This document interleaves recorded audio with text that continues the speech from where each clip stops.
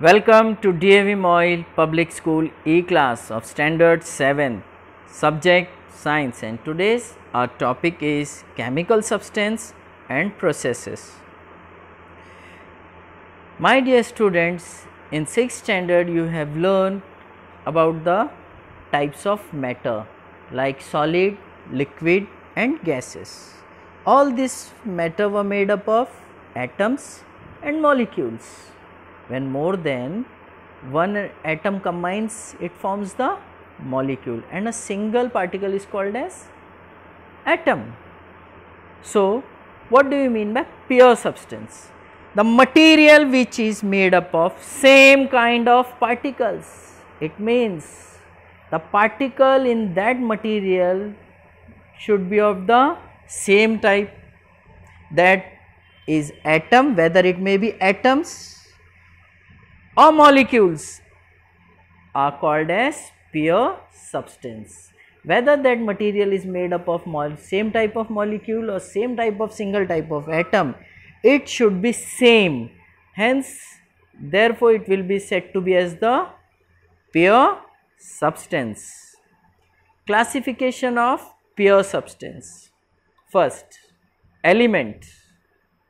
The whole world is made up of elements only element it is a pure substance which is made up of the atom of the same kind. For example if i am having a iron rod and i am grinding it i will get the particles of small small small small particles of the iron only fe only. Whether i will get the particles of the some aluminum no. Such type of the element in which the same kind of atoms is made up of same kind of atoms is called as element. Compound. Compound is a pure substance in which is made up of two or more different element when two or more element combines with each other it forms the compound remember this thing what is compound? A compound is a pure substance which is made up of two or more different elements combined in a fixed ratio. See this is very important combined in a fixed ratio. See the example of water molecule. What is the formula of water? H2O. Wherever you go, whether India or any other, if you will ask what is the formula of water, anybody will say H2O. It means the two atoms of hydrogen and one atom of oxygen combines to form a one molecule of water. That is called as compound. It is in a fixed ratio. So my dear students here is in one activity. Some examples of matter or material are given here and you have to identify whether these substances are pure or mixture. Pure means it is in the fixed proportion and mixture means it may be in any proportion. Some may be more, some may be less. Examples are air, whether air is a pure substance or a mixture iron, water, soil, lemonoid, gold and oxygen. You have to write this activity in your notebook. You have to just write in front of them whether they are pure substance or mixture. Symbols, chemical symbols. See, there are lots of elements Till now there are more than 115 elements have been discovered. But in practice, in regular practice, we doesn't write their names. So, for make it more easier and convenient to study the chemical reaction, the this substance is being represented by the chemical symbols. In present, the element are represented by the English alphabet.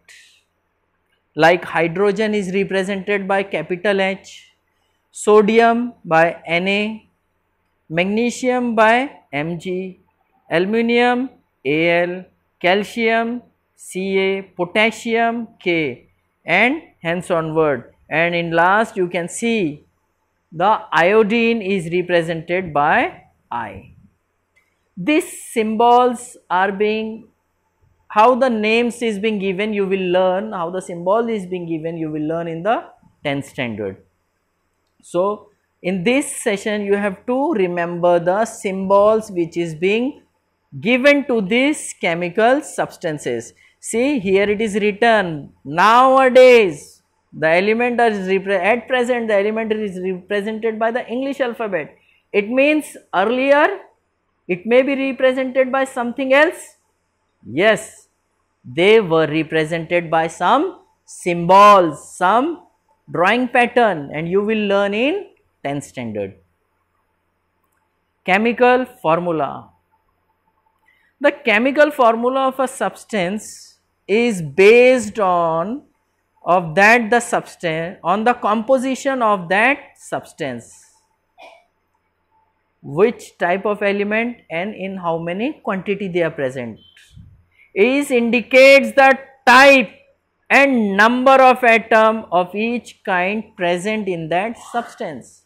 See chemical formula of water is H2O. It means in water which two types of element is participating?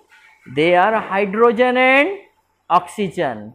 How many hydrogen are two atoms and oxygen is one atom. Again in carbon dioxide, how many elements are participating to make a chemical formula? They are two. Which one? Carbon and oxygen. But how many atoms? In this carbon is 1 and oxygen atoms are 2. How to write the chemical formula? See, first symbols of positive and negative ions are written and their charges are written on the top corner of the symbol. My dear student, what are these ions? Right now you have to remember that ions contain the symbol which is containing with charges are called as ions. We will see in this session only. But how the charges are coming you will learn in 9th standard. So, what you have to do first for writing the chemical formula?